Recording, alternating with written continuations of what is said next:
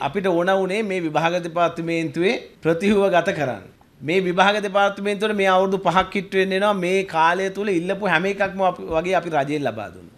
යන්ත්‍ර සූත්‍ර ගන්න ඕන මේ ඕන කිව්වා ඒවට මුදල් දුන්නා. ඩිජිටලයිස් කරන්න ඕන කිව්වට මුදල් දුන්නා. ගොඩනැගිලි හදන්න ඕන කිව්වා ඒවට මුදල් දුන්නා. තවත් විවිධ කාර්යයන් වලට අපි මුදල් ලබා දෙන්න ලැබුවා. මේ විභාග දෙපාර්තමේන්තුව ඊටාම විශ්වාසනීය වූ තැනක් විය යුතුයි. ඒ සඳහා ගත යුතු ක්‍රියාමාර්ග අපි ගන්න ඕනේ. දැන්ටත් බොහෝ ක්‍රියාමාර්ග අරගෙන තියෙනවා. තවත් ක්‍රියාමාර්ග ගත යුතුයි.